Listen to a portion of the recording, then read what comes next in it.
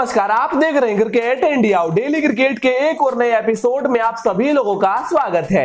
आज तारीख हो चुकी है 30 नवंबर 2020 और इस वीडियो में हम बात करने वाले हैं आज दिन भर की क्रिकेट से जुड़ी सभी टॉप खबरों के बारे में, जहाँ पर एक तरफ़ भारत और ऑस्ट्रेलिया के बीच खेली गई वनडे सीरीज़ में भारत की करारी शिकस्त के बाद कप्तान विराट कोहली काफ़ी ज़्यादा निराश दिखाई दिए। वही दूसरी तरफ़ भारत और इंग्लैंड के बीच होने वाली सीरीज़ के शेड्यूल को लेकर बीसीसीआई ऑफिशियल्स की तरफ़ से बहुत ही बड़ा अपडेट निकल कर आ रहा है। और उसके अलावा भी यहाँ पर क्रिकेट से जुड़ी हुई बहुत सारी बड़ी बड़ी खबरें निकल कर आ रही है।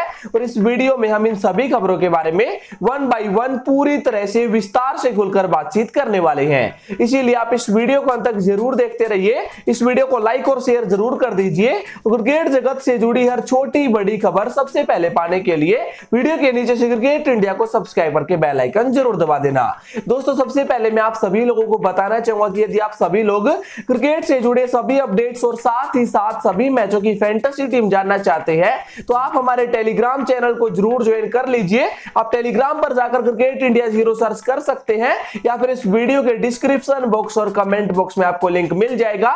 आप जाकर फटाफट ज्वाइन कर लीजिए। वहाँ पर आपको क्रिकेट से जुड़ा हर एक छोटा मोटा अपडेट सबसे पहले देखने को मिलने वाला है। तो चलिए, बिना समय गवाए अब हम बात करते हैं दिन भर के क्रिकेट से जुड़ी सभी टॉप खबरों की। तो पहली और सबसे बड़ी खबर यहाँ पर निकल कर आ रही है। भारत और ऑस्ट्रेलिया के बीच खेली जा रही वनडे सीरीज़ को लेकर, जहाँ पर इस सीरीज़ का दूसरा वनडे मुकाबला कल सिडनी के मैदान पर खेला गया था और वहाँ पर एक बार फिर से भारतीय टीम के गेंदबाज टोटली फ्लोप नज़र आए। बल्लेबाजी कुछ खास नहीं कर पाई, जिसके चलते यहाँ पर दूसरे वनडे मैच में भी ऑस्ट्रेलियन टीम को बहुत ही ज़बरदस्त जीत मिली और यहाँ पर ऑस्ट्रेलियन टीम ने इस सीरीज़ को दो ज़ीरो से अपने नाम कर लिया है और इस सीरीज़ का रिज़ल्ट आने के बाद भारतीय टीम के कप्तान विराट कोहली काफ़ी ज़्यादा निराश दिखाई दिए। जी हाँ आप सभी को बताना चाहूँगा कि मैच के बाद हुई पोस्ट कॉन्फ्रेंस के दौरान वहाँ पर विराट कोहली ने हार की वजह के बारे में बातचीत की, जहाँ पर उन्होंने कहा कि सबसे पहले हमारे गेंदबाज यहाँ पर कुछ खास परफॉर्मेंस नहीं कर पाए,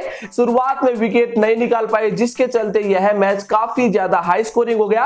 अंत में यहाँ पर ग्लेन मैक्सवेल ने ज़बरदस्त पारी खेली, लेकिन फिर हमारा बीच में यहाँ पर जो बीच के ओवर्स थे, वहाँ पर हमारे बल्लेबाजों ने कुछ खास रन नहीं निकाले, जहाँ पर कप्तान विराट कोहली भी बोल टू बोल यहाँ पर खेले थे, जिस वजह से यहाँ पर भारतीय टीम को इस मुकाबले में करारी शिकस्त मिली। लेकिन इस हार से एक बंदा बहुत ही ज़्यादा खुश है। जी हाँ मैं बात कर रहा हूँ उस बंदे की, जिसकी फ़ोटो आप सभी लोग स्क्रीन पर देख पा रहे होंगे, जहाँ पर एक तरफ़ ऑस्ट्रेलियन टीम मैच तो हार गई, लेकिन एक भारतीय क्रिकेट फ़ैन यहाँ पर ऑस्ट्रेलिया का दामाद ज़रूर बन गया। उसके बाद हम बात करते हैं अगली खबर की तो यह खबर निकल कर आ रही है क्रिश लिन को लेकर। जी हाँ क्रिस लिन आईपीएल 2020 में मुंबई इंडियंस का हिस्सा थे।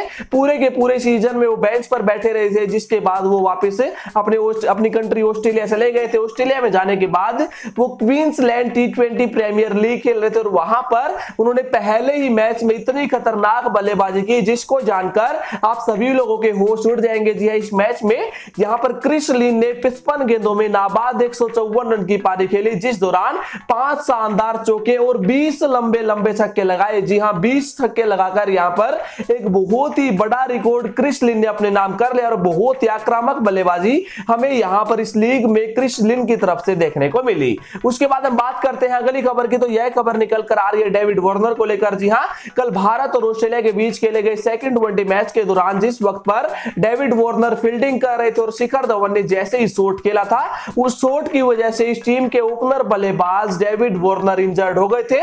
हालाँकि उस वक्त पर तो यह इंजरी नॉर्मली लग रही थी और हो सकता था कि यहाँ पर अगले मैच तक वो रिकवर कर लेंगे, ऐसी रिपोर्ट्स भी निकल कर आ रही थी। लेकिन भाई, इस टीम के कप्तान आरोन फिंच ने ऐसा कहा कि जो उनकी इंजरी है, वो थोड़ी सी ज़्यादा गंभीर दिखाई दे रही है, जिसके चलते भाई यहाँ पर अगले मैच को वो मिस करने वाले, लेकिन अब मिस करे या ना करे, भारतीय टीम यहाँ पर इस सीरीज़ को अपने हाथ से गवा चुकी है। उसके बाद हम बात करते हैं अगली खबर की तो यह खबर निकल कर आ रही है विराट कोहली को लेकर। जी हाँ कल के मैच में विराट कोहली ने बहुत ही ज़बरदस्त पारी खेली और उस पारी के साथ ही विराट कोहली ने एक बहुत ही बड़ा रिकॉर्ड अपने नाम कर लिया है। जी हाँ, भारतीय कप्तान विराट कोहली के कुल बाईस से ज़्यादा इंटरनेशनल रन हो गए और ऐसा करने वाले वो पूरे संसार के आठवें खिलाड़ी बन गए और तीसरे भारतीय खिलाड़ी बने हैं जिन्होंने इंटरनेशनल क्रिकेट में बाईस रन बना लिए हैं। उसके बाद हम बात करते हैं अगली खबर की तो यह खबर निकल कर आ रही है भारत और इंग्लैंड के बीच होने वाली सीरीज़ को लेकर। और मैंने आप सभी को बताया था कि भारत और ऑस्ट्रेलिया के बीच जो फ़िलहाल सीरीज़ चल रही है, इस सीरीज़ के जस्ट जस्ट बाद इंग्लैंड की टीम भारत के दौरे पर आने वाली है, जहाँ पर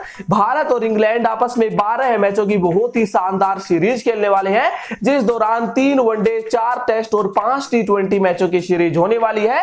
और इस सीरीज़ के शेड्यूल को लेकर बीसीसीआई ऑफिशियल्स की तरफ़ से एक बहुत ही बड़ी खबर यहाँ पर निकल कर आ रही है। जी हाँ मैं आप सभी लोगों को बताना चाहूँगा कि रिपोर्ट कुछ ऐसी कि जो अब ये वीक स्टार्ट हो रहा है इसी वीक के बीच में हमें भारत और इंग्लैंड के बीच होने वाली सीरीज़ का पूरा का पूरा शेड्यूल ऑफिशियली आधिकारिक तौर पर देखने को मिल जाएगा। और जैसे ही शेड्यूल आएगा तो वही सबसे पहले अपडेट आपको क्रिकेट इंडिया पर ही मिलने वाला है। उसके बाद हम बात करते हैं अगली खबर की तो यह खबर निकल कर आ रही है इंटरनेशनल क्रिकेट को लेकर। दिया फ़िलहाल तीन इंटरनेशनल सीरीज़ चल रही है और जहाँ पर तीनों ही इंटरनेशनल सीरीजों का रिज़ल्ट आ चुका है। पहली सीरीज़ भारत और यहाँ पर ऑस्ट्रेलिया के बीच चल रही है वनडे सीरीज़ जहाँ पर दोनों मुकाबलों ने ऑस्ट्रेलिया ने जीत दर्ज करके सीरीज़ को अपने नाम कर लिया है। दूसरी सीरीज़ यहाँ पर न्यूजीलैंड और वेस्ट इंडीज के बीच खेली जा रही है, जहाँ पर दोनों टी ट्वेंटी मैचों में न्यूजीलैंड की टीम ने ज़बरदस्त जीत करके सीरीज़ को दो ज़ीरो से अपने नाम कर लिया है। वही तीसरी सीरीज़ की हम बात करते तो इंग्लैंड और साउथ अफ्रीका के बीच खेली जा रही है और इंग्लैंड की टीम ने भी दोनों टी मैचों में जीत दर्ज करके इस सीरीज़ को जीत लिया है। जी हाँ यहाँ पर तीनों सीरीजों का रिज़ल्ट केवल दो दो मैचों के बाद आ चुका है। उसके बाद हम बात करते हैं अगली खबर की तो यह खबर निकल कर आ रही है रोहित शर्मा को लेकर। और रोहित शर्मा को लेकर आप सभी को पता है कि लगातार सवाल उठ रहे थे कि आखिर किस तरह के इश्यूज़ में वो फंसे हुए हैं, क्या वो हमें टेस्ट सीरीज़ में देखने को मिलेंगे। लेकिन आप सभी को बताना चाहूँगा ईशांत शर्मा को यहाँ पर सीरीज़ से रूल्ड आउट कर दिया गया है और आज एनसीए यानी नेशनल क्रिकेट अकेडमी की तरफ़ से एक बहुत ही बड़ी रिपोर्ट निकल कर आ रही है, जहाँ पर बताया जा रहा है कि रोहित शर्मा भारत और ऑस्ट्रेलिया के बीच होने वाली टेस्ट सीरीज़ में खेलने के लिए पूरी तरह से फिट हो चुके हैं, अपने आप को रिकवर कर चुके हैं और वो पहले टेस्ट से ही यहाँ पर भारत और ऑस्ट्रेलिया के बीच होने वाली सीरीज़ का हिस्सा हो सकते हैं। लेकिन आप सभी को पता है कि यहाँ भारत से पहले उनको ऑस्ट्रेलिया जाना होगा। ऑस्ट्रेलिया जाने के बाद चौदह दिन के लिए क्वारंटीन में रहना होगा। उसके बाद ही वो यहाँ पर मैच खेल पाएँगे, जिसके चलते भाई पहले टेस्ट मैच में उनका खेलना मुझे तो काफ़ी ज़्यादा संदिग्ध लग रहा है। लेकिन दोस्तों, आपको क्या लगता है, आपको कैसी लगी आज की सभी खबरें? हमें कमेंट बॉक्स में ज़रूर देना अपनी राय। फ़िलहाल किस वीडियो में बस इतना ही। ज़्यादा इन्फॉर्मेशन के लिए भी सब्सक्राइब करके इंडिया थैंक्स फॉर वॉचिंग